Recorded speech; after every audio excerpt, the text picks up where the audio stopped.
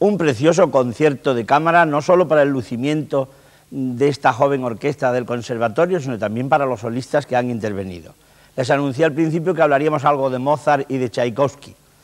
Los cuartetos de Mozart no pueden concebirse sin exponer brevemente no su antecedente, sino los cuartetos que simultáneamente en muchos casos escribía eh, su maestro Joseph Haydn.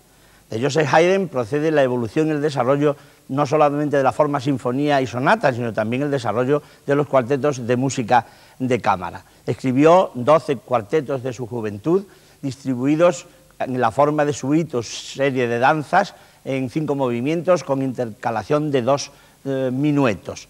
Más tarde, hasta la obra 9, son cuartetos con cuatro movimientos, pero la madurez se consigue fundamentalmente por los llamados eh, cuartetos del Sol y sobre todo por los denominados cuartetos rusos dedicados al gran duque Pablo de Rusia, como los anteriores los dedicó al rey Guillermo Federico de Prusia. Este cuarteto de Mozart es un epígono, es decir, una consecuencia no solamente de la inspiración mozartiana, sino del buen hacer, de la economía de medios y del tratamiento de los instrumentos que utiliza. Es en el catálogo de Kegel el 575, es decir, obra de gran madurez, de periodo muy avanzado en la producción mozartiana.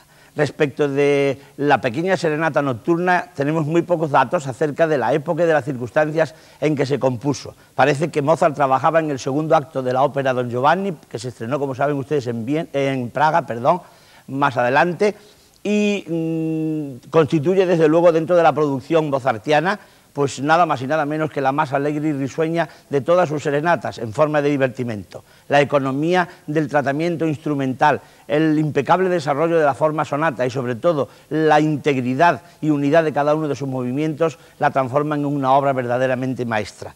¿Qué les voy a decir también del concierto número 8, obra de juventud de Wolfgang Amadeus Mozart, escrito en do mayor, en ese primer movimiento en que el piano dialoga de una forma ágil y casi etérea con la orquesta de cámara que ustedes acaban de oír.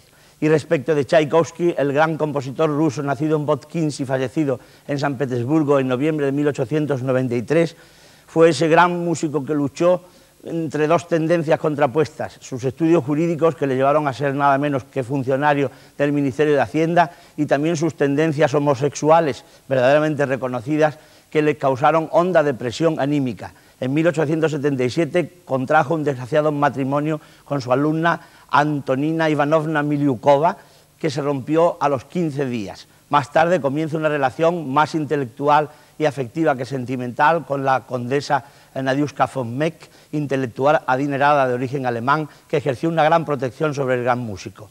Tchaikovsky es uno de mis músicos preferidos, compuso no solo cuatro estaciones, sino tríos, cuartetos y sobre todo sus seis grandes sinfonías. La cuarta la hecha en 1877, época desgraciada del compositor. La quinta la más acabada y elaborada. Y la sexta que es la más honda, profunda y melancólica de todas ellas. Junto a estas obras sinfónicas, música de cámara perfecta, como esta serenata, que es la alegría de vivir pese a las circunstancias adversas de este gran compositor ruso.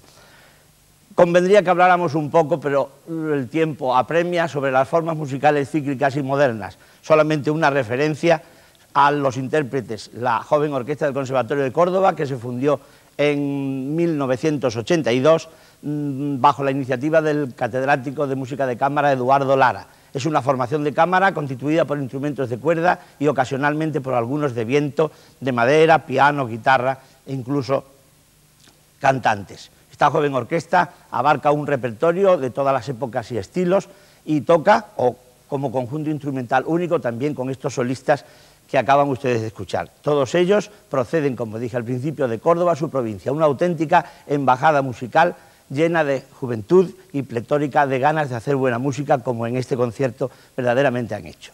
Señoras, señores, tengo el gusto de despedirme de ustedes hasta un próximo programa.